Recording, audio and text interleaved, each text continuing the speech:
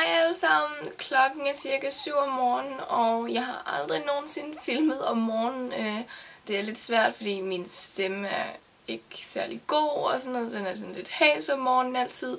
Øhm, men jeg øh, viste jer i går, at jeg har nu fået min beauty blender. Den kom ind i posten i dag. I går. jeg købte to, og så købte jeg sådan en renser til den. Og øh, det her det er, når den sådan er våd. Jeg har lige været ude og gjort den lidt våd, og det her det er sådan, den er, når den ikke er våd. Så den er sådan ret lille, og den er rigtig dejlig og blød. Den er lidt mere sådan tæt selvfølgelig, når den er lille. Jeg købte den på Amazon, og øh, jeg synes Amazon er rigtig, rigtig fint. Jeg skal nok linke deres hjemmeside nede i beskrivelsesboksen. Og øh, jeg skal selvfølgelig også nok linke det sæt, som jeg købte. Øh, men jeg vil bare komme i gang, fordi ellers begynder den at blive tør. Så øh, ja, jeg har allerede renset min hud og så videre. Øhm, det jeg gør nu, det er, at jeg tager min primer, The Professional, og øhm, jeg tager bare lidt på her, og påfører det rundt omkring mit ansigt. Imens min primer ligesom lige sådan synker ind i huden, så vil jeg lige fortælle lidt om Beauty Blenderen. Altså en Beauty Blender, det er øh, en foundation applicator. Øhm, og ikke nødvendigvis kun foundation, man kan også bruge den til concealer. Og den har nemlig to spidser. Den her, den er sådan øh, mint, mint. den her, den er sådan ligesom beregnet til concealer, og den her nede er foundation, så, så du kan få de største sådan områder med den her del, fordi det er større. Så det her det er bare førstehåndsindtryk af, hvad jeg synes om den. Jeg har overhovedet ikke brugt den før nu. Jeg har aldrig brugt... Jo, jeg har brugt foundation svampe før, men aldrig nogen, der sådan er ligesom den her. Så det jeg gør, det er, at jeg tager min foundation her på min hånd. Min foundation er min Nilens jord. Også Nilens jord. I har set den før. Og jeg tager den bare på her. Og så tager jeg den bare rundt her. Ups, det var mit spejl. Okay.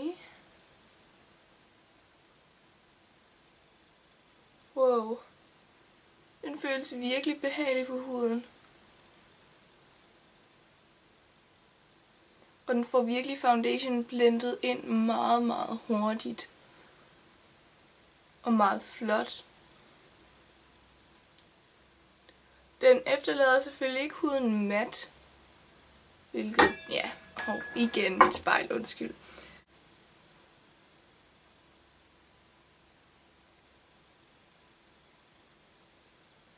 Jeg tror, jeg skal være bedre til sådan at fordele det på mit ansigt, fordi jeg plejer altid kun at bruge et tryk foundation. Øhm, og jeg behøver jo selvfølgelig ikke mere, men... Men den er sikkert, eller den er også, den er god til at fordele foundation sådan. Det er jeg helt vild med. Og det er meget nemt. Det var egentlig faktisk det øh, med min foundation. Øh, jeg har lidt ekstra på hånden, så jeg kan lige bruge det nogle ekstra steder. I kan se, det er sådan meget skinnende finish, hvis man kan sige det sådan. Øhm, hvilket jeg godt kan lide, men altså jeg har, tager altid alligevel puder på, øhm, fordi at ellers holder min makeup ikke.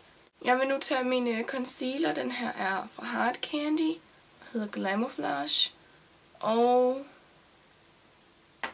ja, jeg tror bare, jeg vil putte den på sådan lige med fingrene sådan på. Og så vil jeg se, hvordan den blender det ud. Urenhed altså. Også rundt om næsen.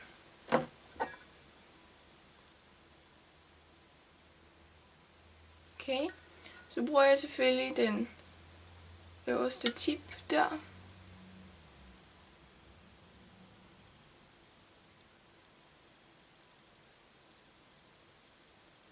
Den kommer rigtig godt rundt omkring. Det den skal.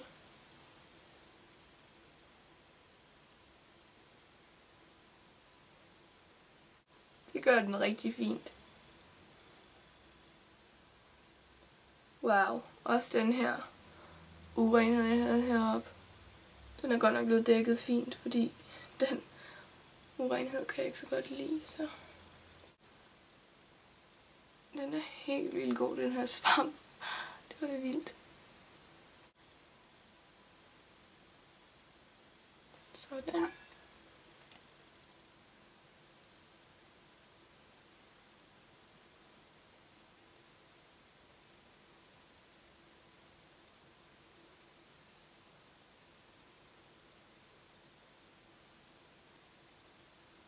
Det gør den selvfølgelig også rigtig fint. Man skulle tro, at fordi tippen er sådan ikke meget, meget spids, at den så måske ikke kunne nå ind. Men det kan den sagtens.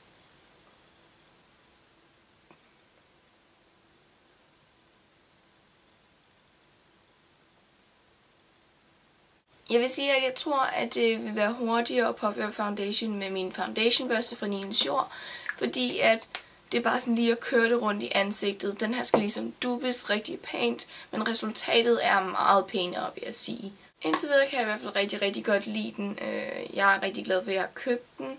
Der er også en Sonia Kashuk blending, eller beauty blender, eller sådan noget. Der er en, som sådan er formet lidt anderledes. Jeg kan lige vise et billede her, eller sådan noget, fordi Øhm, ja, jeg tænkte også på, om det skulle være den, men jeg ved ikke rigtigt, den her tiltaler mig mere, og så er den bare så pæn. Den er bare hot pink. Jeg tror også godt, at man kan få den i sort, men øhm, jeg fik den så sådan her. Det her, det brugte jeg så lige et øh, kvarter på at lave, øhm, så den er kvart over syv, og jeg skal i skole. Være i skole 8.30, så øhm, jeg har jo selvfølgelig godt min tid stadigvæk, og jeg mangler kun min makeup og pakke min task og spise morgenmad og sådan. Øhm, men jeg vil gøre mig klar nu, og jeg regner med, at jeg speeder det op, fordi ellers så bliver den her video for lang. Øhm, så I må meget gerne se med, hvis I vil se, hvordan jeg sådan ligesom lige gør mig klar til det sidste. Og øh, så håber jeg, at I får en rigtig, rigtig god dag og øh, en rigtig god uge. Hej hej!